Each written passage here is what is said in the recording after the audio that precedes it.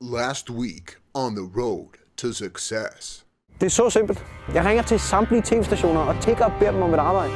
Jeg mener, et eller andet sted må de kunne få brug for et multikulturelt talent som mig selv. Jeg gider dig simpelthen ikke mere. Du må sgu klare dig selv. Jeg, jeg, jeg kan ikke mere. Altså, at finde drømmejob, det kan være svært for nogen selvfølgelig.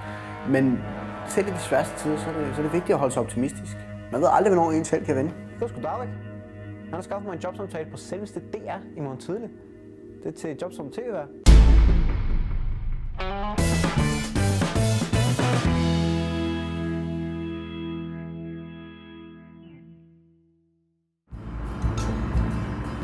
I dag er en fantastisk dag. Min udulige agent har endelig fået skaffet mig en jobsamtale til at være vært på selveste DR. Det er en form for talentspotning. Jamen, mener, jeg går derind og imponerer dem og viser dem, hvilken sand multikunstner jeg er. De klapper og får gåsehud og tårer i øjnene, og så er det der, jeg siger, så giv mig det job. det bliver helt heroisk, ligesom på film. Jeg glæder mig. Lad os komme i gang. Kom ind. Hej, velkommen til. Øh, glad fordi du kunne komme. Jeg ved, hvad du tænker. Her kommer en multikulturelt talent i verdensklasse. Hvor er vi dog heldige at have en sådan stjerne i vores ydmyge bygning. Ja, okay, en smule præsentøst, men øh, fed energi. Øh, må jeg spørge, hvad, hvad laver kameraet? Men dette kamerahold kom til mig en kold december morgen og sagde, Åh, du store talent. Dig, der allerede er så berømt. Vi har brug for en stjerne som dig til at optage i forbindelse med vores programserie om fantastiske danskere. Det kan jeg selvfølgelig ikke sige nej til. Ja, okay. Øh, vil du ikke sådan noget? Jamen, på hvilken måde kan jeg så udfolde mine poetiske vinger? Ja, okay, selvfølgelig. Øh, hvis du bare øh, starter med at præsentere. Du er tv-vært, du skal præsentere programmet. Okay. Mine damer og herrer, velkommen til dette legendariske program med mig, The Super Mega Star, Liam Hendrickson.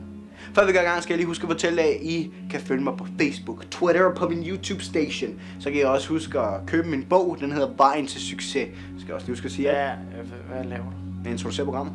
Ja, kom nu til emnet, ikke? Men det er også det, jeg har. Altså, programmet handler vel om mig. Ja, okay. Øhm, ved du hvad, du hører fra os. Altså, okay.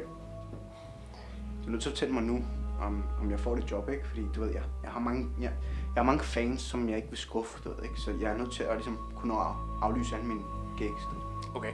Ved du hvad, jeg ved ikke lige, jeg skal fortælle dig det, Liam, men øhm, du har absolut intet talent inden for det her. Øh, vi kan ikke bruge dig. Du er for selvfed og irriterende at høre på. Øh, Kan du komme godt hjem?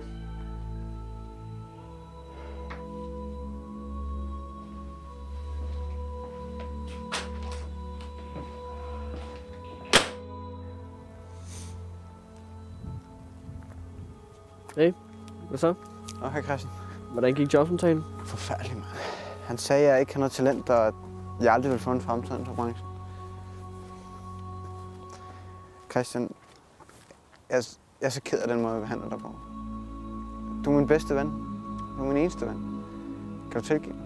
Liam, selvfølgelig kan jeg det. Jeg vil bare ønske, du ikke dig selv styre som en ting, som berømmelse. Det er ikke det vigtigste. Jeg har lyst til at lave den. Altid, min ven. Altid. Det er slet ikke vigtigt for mig mere. Alt det her. Berømmelse. Kendisverden. Jeg, altså, jeg vil ikke dø ensom og alene.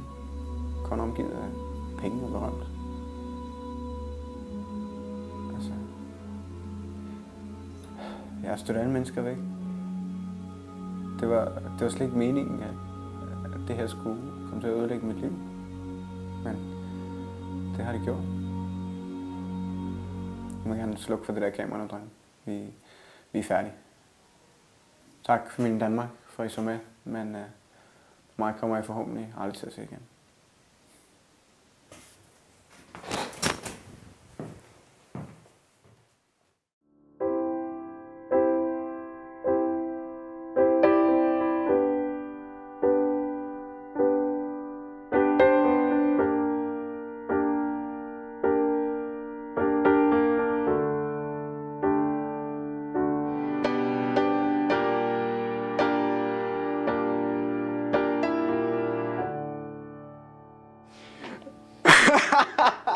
kul idag.